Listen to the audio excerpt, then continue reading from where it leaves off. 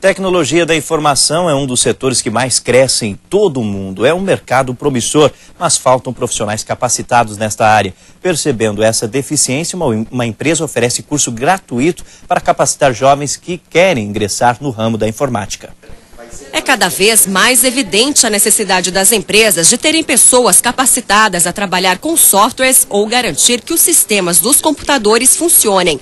A área de tecnologia da informação se destaca pelo crescimento de empregos. Só este ano serão criadas cerca de duas mil vagas nessa área no Paraná, segundo a pesquisa da Associação Brasileira de Empresas de Tecnologia. Mas nem todas as vagas serão preenchidas, já que falta mão de obra qualificada no mercado. Um curso gratuito oferece capacitação a estudantes que querem ingressar neste mercado. O programa já formou 6 mil jovens em todo o Brasil. Para a grande maioria, foi a ponte para o primeiro emprego. O grande objetivo nosso nesse sentido é poder propiciar para os alunos dos ensinos médios, técnicos e universitários da cidade de Curitiba e de Maringá, onde nós estamos executando esse projeto, a oportunidade de serem qualificados ou terem uma melhor preparação com o objetivo da obtenção do seu primeiro emprego. O curso tem duração de dois meses e envolve teoria e prática. O único requisito é que o estudante apresente habilidade na área de tecnologia da informação.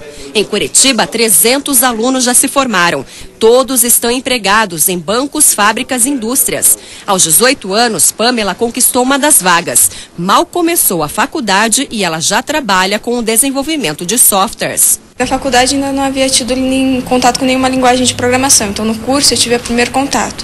Isso fez eu me apaixonar ainda mais pela profissão e conhecer, assim, me adiantar antes de, da faculdade, me dar esse conhecimento, eu conhecia na prática antes. Para Guilherme, de 17 anos, o primeiro emprego veio antes da faculdade. Agora ele já faz planos para a carreira e aposta em um futuro promissor. Graças ao meu primeiro emprego é, cedo, né, e graças ao curso que dá um, uma boa vantagem como no currículo, vai ficar muito mais fácil para eu conseguir outros empregos mais para frente.